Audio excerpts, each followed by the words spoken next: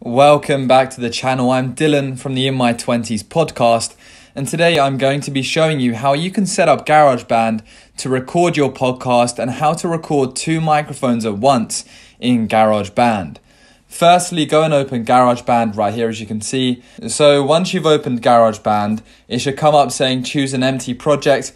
We want to select choose an empty project and then it will bring up this menu on screen right now. And you can see that there's plenty of different options here and assuming you've got both of your microphones connected to your computer, which you should do by now, you then want to hit Command and Spacebar on a Mac and search MIDI.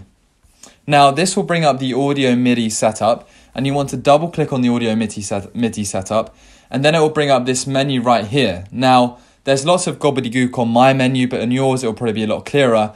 But essentially, what you want to do, and what I will do, is scroll down, press plus, create aggregate device.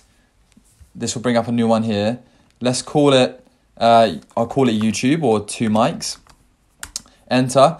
And we want to tick our two microphones that are currently plugged in to our computer on this menu right here. So both of my microphones are Rode NT USB, and you can see that, and you can see that the only Rode NT USB microphones with an input, which is IN, are this one right here and this one right here. So once I've selected these two, I'm done with this menu. I'm now going to leave it. And essentially what will happen is on GarageBand, it will pop up saying, do you want to use the audio device um, YouTube 2 mics? And you want to say use.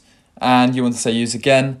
And it will initial and it, what it will do, is it will initialize the core audio down here. My instrument is connected with to YouTube 2 mics. And if it doesn't do this automatically, basically just change the input device manually like so and your menu will pop up here.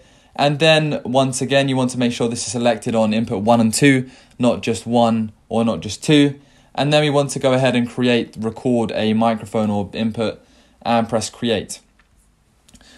Now once this menu comes up we want to make sure we create another audio channel because each audio channel is represented by um, a different mic. And you can see for one we have um, the top one let's say we'll select uh, YouTube two mics one to two, and for the second one, we'll select YouTube two mics three to four.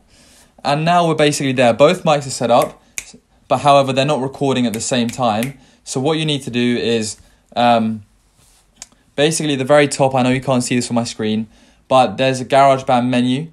You want to press um, track and then show track composition or configure track header right here. So track configure track header, and then we want to select recording enabled, and that will pop up on the screen. And then we now want to press the shift key, which is the output arrow, click on the first record, click on the second record, and now both channels are going to be recording if and when you hit the record button, and then you can slap record. Both channels are recording. We have one mic here, one mic here. You can see that they're both different levels, so you know and you can see that both of them are recording, both of them are recording at different levels, and boom, you're ready to start recording your podcast. Once it's done, you simply hit pause, share, export, and the podcast is done. So also, I should just add, I recently created a free Skillshare where you can go and learn all about how to start a podcast from nothing to pro. And that'll be linked in the description down below for any budding podcast hosters or people wanting to learn and create a podcast. It covers marketing to how to record to how to grow it. So that'll be linked below. Thank you for watching this. Please feel free to check out my podcast. I'm Dylan. Subscribe, like, yes.